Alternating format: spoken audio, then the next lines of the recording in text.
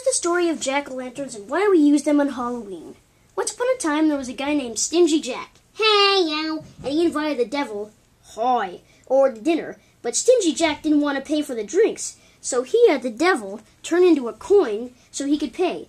But Jack, but Stingy Jack, hey, yo, decided to keep the coin, and he put a silver cross next to it so that the devil couldn't change back into his devil form, and he only removed it when the devil, hi, agreed not to bother Stingy Jack, hey, for one year.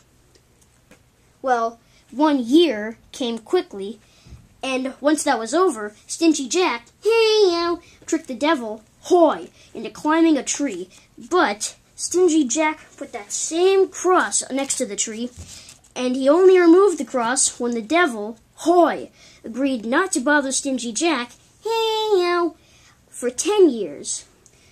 Well, soon after that, Jack died. And God didn't want to let Jack into heaven because of how mean he was to the devil. And the devil was upset with Stingy Jack, so he didn't let him into hell. So the devil cast Stingy Jack off into the night with only a burning coal inside a turnip that was cut out to lead the way. And that burning coal turned into a burning candle, and that turnip turned into a pumpkin in America, and that is how and that is the story of why we have pumpkins on Halloween.